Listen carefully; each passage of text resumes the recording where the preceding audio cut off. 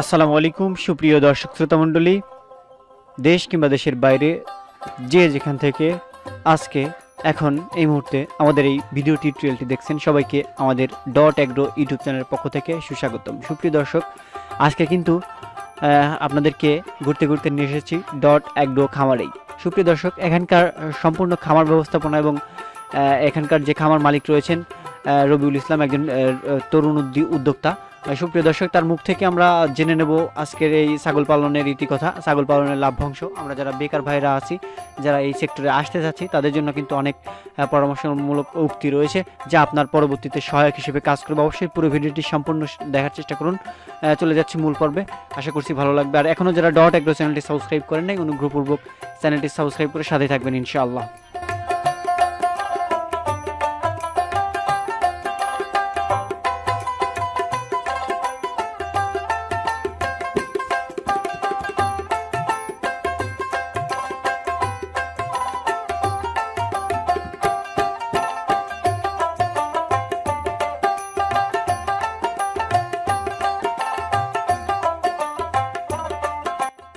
আসসালামু আলাইকুম।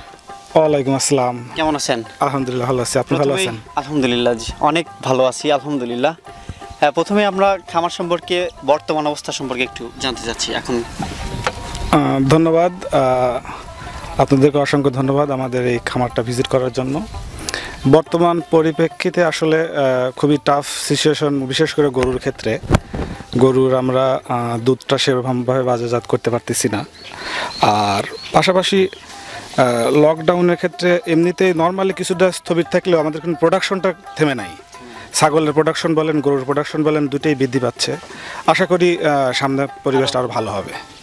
তো আপনার এখানে কতগুলো ছাগল আছে? এখানে বাচ্চা সহ ষাটটা ষাট প্লাস ছাগল আছে। ষাট প্লাস এখানে কোন কোন জাতের ছাগল আপনার এখানে আছে? এখানে আমার ম্যাক্সিমাম সব হরিয়ানা আর হরিয়ানা ক্রস ছাগল সব। ক্রস ছাগল। তো প্রথমে আমরা আপনার কাছে জানতে চাচ্ছি যে বাংলাদেশে বেশ কয়েকটা ছাগলের জাত রয়েছে। ব্ল্যাক বেঙ্গল তোতাপুরি যমুনাপাড়ি, এই ধরনের ছাগল রেখে আপনি হচ্ছে কেন হরিয়ানির দিক ঝোঁকটা আসলো? দর্শকের উদ্দেশ্যে প্রথমে বলবেন। আসলে এটা আসলে সবার মার্কেটটা রিসার্চ করা উচিত যে মার্কেটে কোন জিনিসের উপর চাহিদা আছে এবং কোনটা কমার্শিয়াল এটা ধারণ করে। অনেকে, অনেকেই শখের বসে বিভিন্ন ধরনের ছাগল পালন করে সেটা ভিন্ন ক্ষেত্রে। যদি কমার্শিয়ালের কথা ভাবেন তাহলে আপনি অবশ্যই নেক্সট কি হবে সেটা ভাবতে হবে। আজ না ভেবে আপনাকে মনে করেন যে নেক্সট টু ইয়ার্স পর কি হবে এর কোন দিকে মার্কেটটা যাবে সেইটার বিবেচনা করেই কিন্তু আপনাকে কমার্শিয়াল ফার্মটা করা উচিত। তে আমি এই কারণেই আপনার এই মানে হরিয়ানা আর ক্রস ছাগল নিয়ে শুরু করছি যেন নেক্সটে আপনি যদি মনে করেন মাংসের দিকে বলেন আর এই অন্য দিকে সাইডটা ভেবে দেখেন এর কালার বলেন হ্যাঁ, এটা আমার কাছে লাভবান মনে হয়েছে। মনে হয়েছে। সেই জন্য আমি এটা দিয়ে শুরু করছি। আমার এই বড় ধরনের কোনো রোগ ভীতির সমস্যার সম্মুখীন কি কখনো হয়েছেন? একদম ইনিশিয়াল স্টেজে আমি কিছু প্রবলেম ফেস করছি। যখন আমার সাতটা ছাগল ছিল তখন বাইরে থেকে আমি দুই তিনটা ছাগল কালেক্ট করছিলাম। তা সেটা বাজার থেকে। নিয়ে আসার পরপরই আমার ছাগলগুলো সব অসুস্থ হয়ে গেছিল। যদিও আমি কোয়ারেন্টাইন মেনে চলছিলাম ওটা আলাদা জায়গায় রাখছিলাম হ্যাঁ। সেজন্য আমার এক্সিস্টিং যে ছাগলগুলো ছিল সেগুলোতে কোনো ইফেক্ট আসে নাই। এরপর থেকে আর তেমন কোনো ধরনের প্রবলেম হয় নাই। আমি সবগুলোই টাইমলি কৃমিনাশক বলেন টাইমলি ভ্যাকসিন বলেন এগুলো সব কিছু করতে থাকি। কৃমির যে ওষুধগুলো তিন মাস পর পরই তো তিন মাস পর পর এবং এটা আমি আপনার গ্রুপ চেঞ্জ করে করে এটা অ্যাপ্লাই করি। এটা আমার পেজে ডট অ্যাগ্রো পেজ আছে এই পেজে আমি সবসময় এটা আপডেট দিই। আচ্ছা যারা নতুন খামার করতে চাইবে তাদের প্রাথমিক অবস্থায় কি ধরনের পদক্ষেপ নিয়ে মানে খামার শুরু করা উচিত আপনার পরামর্শ? আসলে যে কোনো অ্যাগ্রো বিজনেসই খুবই চ্যালেঞ্জিং বিজনেস যদি এখানে আপনার মনে করেন কঠোর ম্যানেজমেন্ট ইভেন আপনাকে কঠোর পরিশ্রম করতে হবে। দেন সফল সফলতা আসবে। সবাই ভাবে যে মনে করলাম যে ইউটিউবে বা বিভিন্ন জায়গায় দেখে যে হ্যাঁ দেখে ভাবে যে হ্যাঁ আমি করলাম হয়ে গেল। কিন্তু আসলে বাস্তব চিহ্নটা আসলে ভিন্ন হ্যাঁ। এখানে আপনাকে কঠোর পরিশ্রম করতে হবে এবং প্ল্যান মাফিক আগাতে হবে। এই জন্য দেন আপনি সাকসেস হতে পারবেন। যে কঠোর পরিশ্রম প্লাস অসীম সাধনা সমান সাফল্য এই কথাটা কিন্তু তখন হাড়ে হাড়ে বুঝতে পারবেন যখন খামার করবেন। আপনি যদি ম্যানেজমেন্টের ত্রুটি থাকে অবশ্যই আপনি ক্ষতিগ্রস্ততার সম্মুখীন হবেন। আচ্ছা ভাই আপনার কাছে এখন জানতে চাচ্ছি যে খাদ্য হিসেবে এখন মানে কি কি খাওয়াচ্ছেন? আসলে খাদ্য হিসেবে প্রধান খাদ্য হিসেবে আমি গরু ছাগল দুধের জন্যই আপনার ঘাসের কোনো বিকল্প নাই। ঘাসটা এটা প্রধান খাদ্য হিসেবে রাখি। আর ব্যাখ্যা হিসেবে দানাদার খাদ্যর মধ্যে আমি ছাগল, গরু দুটাকেই বলেন। আমি দানাদার খাদ্যর সঙ্গে একটা খাদ্য আমি তৈরি করি। এটা আমি ফেসবুক থেকে বিভিন্ন মাধ্যম থেকে পাইছি। সেটা হচ্ছে ইস্ট ফার্মেন্টেড কর্ন এটা হচ্ছে আপনার ভুট্টা।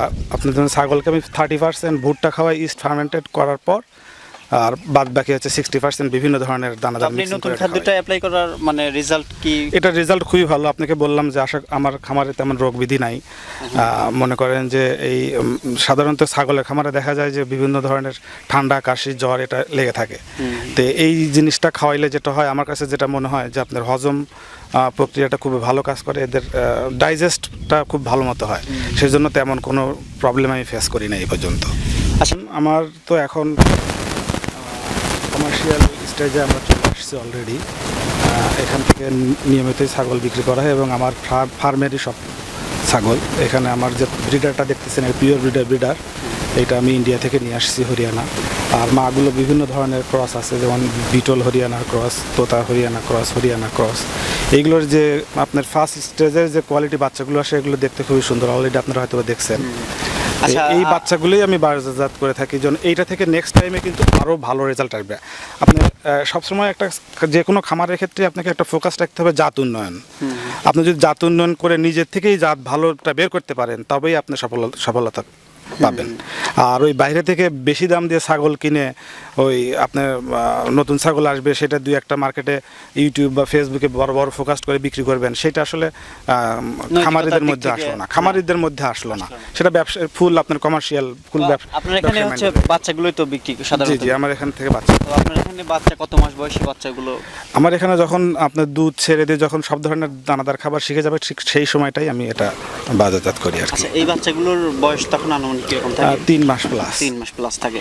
তিন চার মাস বয়সী বাচ্চাগুলো আপনার মানে খামার থেকে যদি কেউ সংগ্রহ করতে চায় এগুলো পার পিস মানে আনুমানিক একটা অ্যামাউন্ট কীরকম এটা আসলে ফুললি ডিপেন্ডস করবে কোয়ালিটির উপর। কোয়ালিটির উপর আর এখানে রেঞ্জ হচ্ছে আপনার আট হাজার টাকা থেকে পঁচিশ হাজার টাকা পর্যন্ত আমার ছাগলের বাচ্চার আছে।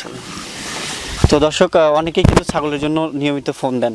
আসলে আমরা ব্যর্থ ছাগল দিতে পারি না। আজকে খামারি একদম আপনাদের পুরো খামারের চিত্রটা আমরা দেখিয়েছি পুরোটা সময় জুড়ে। আপনারা ভাইয়ের নাম্বার ডেসক্রিপশনে দেওয়া থাকবে। অবশ্যই ভাইয়ের সাথে যোগাযোগ করে আপনারা কিন্তু খামার থেকে একদম নির্যাস প্রকৃতির ছাগলগুলো সংগ্রহ করতে পারবেন। দর্শক আমার চিত্র তুলে ধরার চেষ্টা করেছি। বেকারত্ব দূরকরণে আজকের অনেক সুপরামর্শ রয়েছে এই ভিডিওটি জুড়ে। সাথে থেকে ভিডিওটি দেখার জন্য আপনাদেরকে অসংখ্য ধন্যবাদ। দর্শক, বিদায় নিতে হচ্ছে পর্ব থেকে। আবার দেখা হবে। আসসালামু আলাইকুম ওরহমতুল্লাহ